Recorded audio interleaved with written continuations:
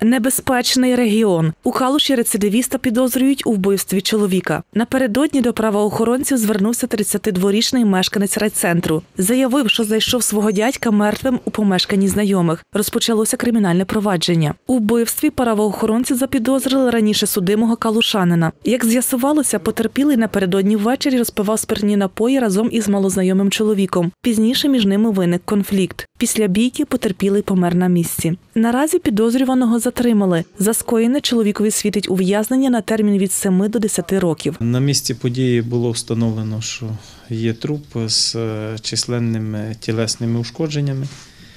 На місці події розібралися і фігурантів, які наносили йому тілесні ушкодження, затримано по статті 208 Кримінально-процесуального кодексу України. На чому зав'язався конфлікт?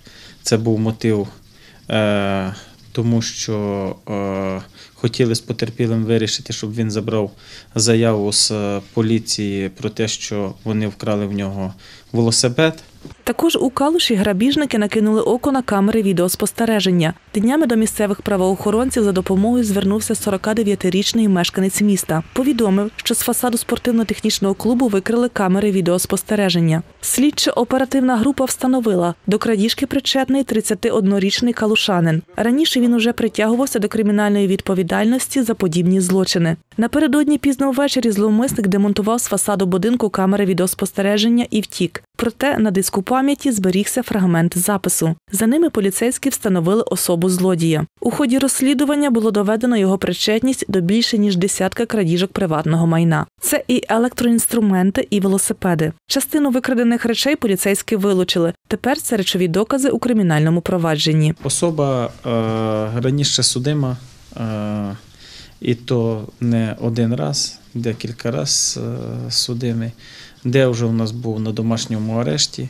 де він е, ночі, година третя, четверта, виходив на вулицю, порушуючи домашній арешт. По чому? І скоював крадіжки, е, знайшли місця збуту його, речові докази вилучено і повернуто громадянам.